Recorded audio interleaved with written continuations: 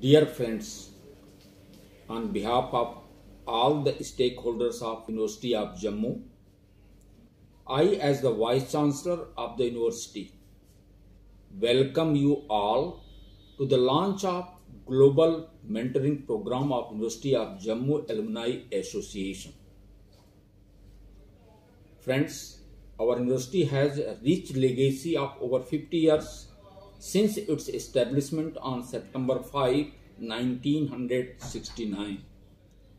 Since then, our alumni has made significant contributions both at the national level as well as international level across a diverse spectrum of professional and public life. I believe that alumni are the strongest brand ambassadors of any institution.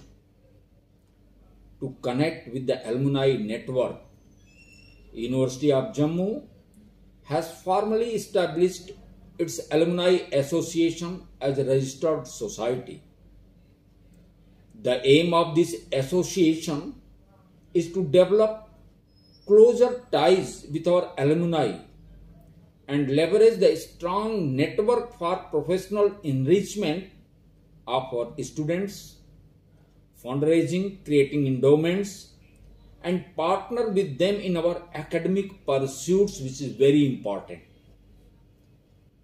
Our University of Jammu Alumni Association team is committed to carve out niche and focused programs for alumni engagement I am hopeful that the alumni of University of Jammu will proactively come forward and support the initiatives of the association to make it a vibrant and meaningful body. We will be happy to receive ideas and suggestions from all the stakeholders and also keen to connect our alumni with our academic program, programs and other academic initiatives. I am happy that University of Jammu Alumni Association Global Mentorship Program is starting today with Dr.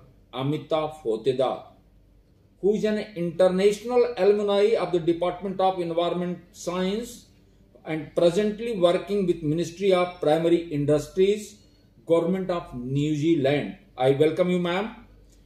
I am sure that our students and other stakeholders will benefit from today's interaction. I congratulate the entire team of University of Jammu Alumni Association for initiating and launching the Global Mentoring Program. I am hopeful that many such initiatives will be taken in near future that will benefit our students at large. Thank you.